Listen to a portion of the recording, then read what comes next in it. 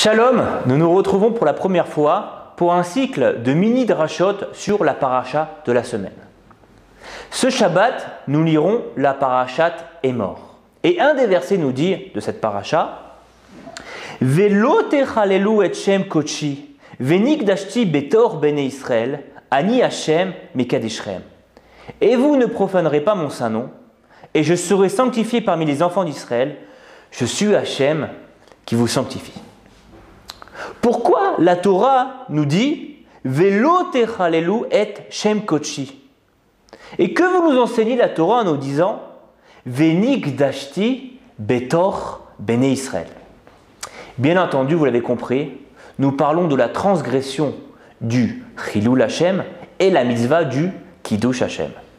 Avant tout, il est important d'indiquer que l'une des fautes les plus graves de la Torah est le Chilul Hashem, dont nous dit le Talmud que ni la Teshuvah, ni Yom Kippour et ni les souffrances sont suffisants. Seulement par la mort, le Chilul Hashem sera effacé. D'habitude, la Teshuvah efface nos fautes. Les souffrances nous purifient. Pourquoi le Chilul Hashem est-il si grave? Le Rambam nous fait remarquer qu'il existe deux types de Chilul Hashem. Le premier, c'est celui qui transgresse un commandement de Dieu, pas parce que la tentation est trop forte et qui, qui veut le faire céder. Seulement pour lui, Hachem n'est pas important. Ras Shalom. L'exemple classique qu'on donne, on lui propose deux morceaux de viande, même prix, même saveur, sauf que l'un est cachère et l'autre est non cachère. Et ce juif choisit le non cachère, car pour lui, les mitzvot ne le concernent pas. C'est faire du chilul Hashem. Par contre, celui qui ne transgresse pas un commandement de Dieu, pas parce qu'on le regarde, pas parce qu'il n'a pas envie, pas parce qu'il va perdre quelque chose, seulement parce qu'il sait qu'Hachem le sait. Il a conscience qu'Hachem le regarde.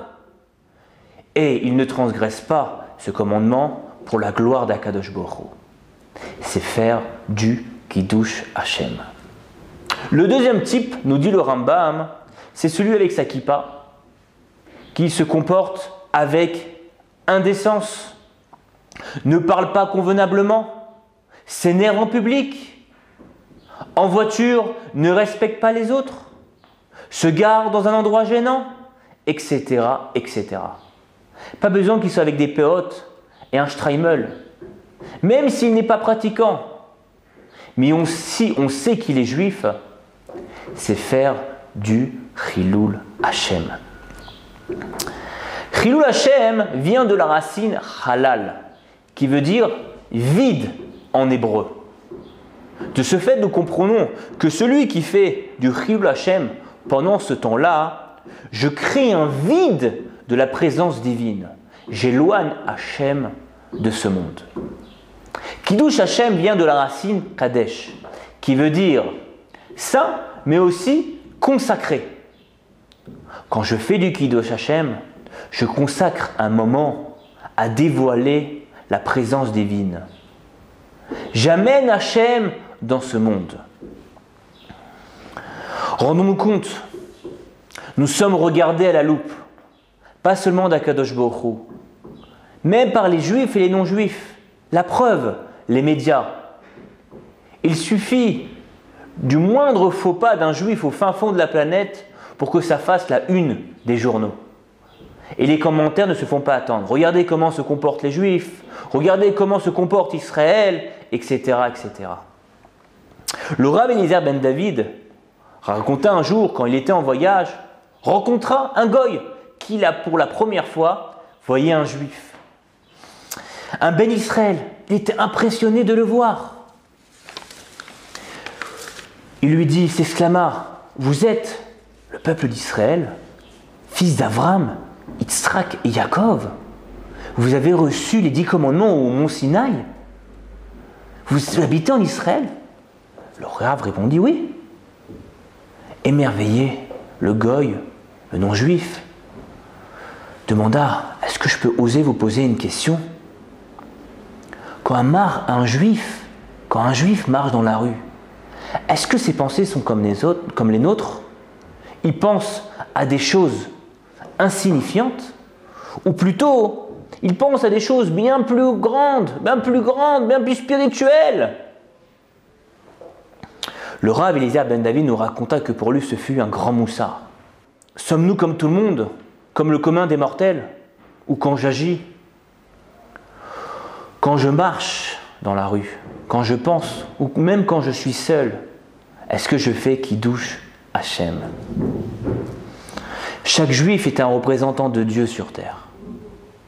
Notre rôle est merveilleux, véhiculer la présence divine dans ce monde. Mais également, nous devons faire très attention à ce rôle. Le Rav Kaminetsky nous raconte, salle, un grand Rav d'après-guerre aux États-Unis, lorsqu'il était encore en Europe de l'Est, dans son village, un des Juifs était venu lui poser une question. On lui avait rendu la monnaie sur 100 roubles, alors qu'il n'avait donné que 10 roubles.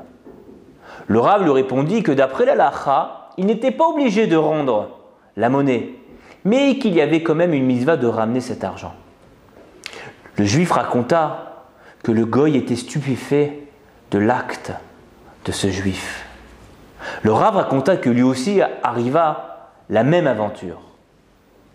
À la poste, le guichetier, au lieu de lui donner dix timbres, lui en, a donné le double. Le Rav profita pour retourner au guichet de la poste et rendre les timbres en plus. Le Rav raconta que le goy son visage était émerveillé. Comme nous dit le Talmud dans Yoma, Heureux le Père qu'il a mis au monde, heureux son rave qui lui a enseigné la Torah, que ses actes sont beaux. L'histoire n'est pas terminée. À la montée du nazisme, tout le monde s'enfuyait de peur d'être dénoncé. Dans ce village, seul un non-juif, un goy, protégeait des Juifs. Ce fut le fameux guichetier de la poste. C'est vrai que beaucoup de gens pensent que Kiddush Hashem, c'est quand un juif se fait assassiner parce qu'il est juif. Et c'est incontestablement un niveau extraordinaire pour Akadosh Baruch Hu.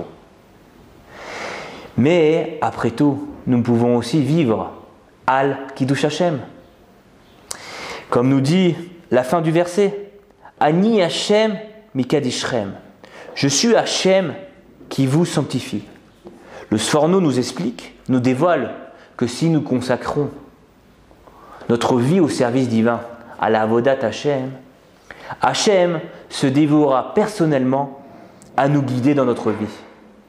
Shabbat Shalom et à la semaine prochaine.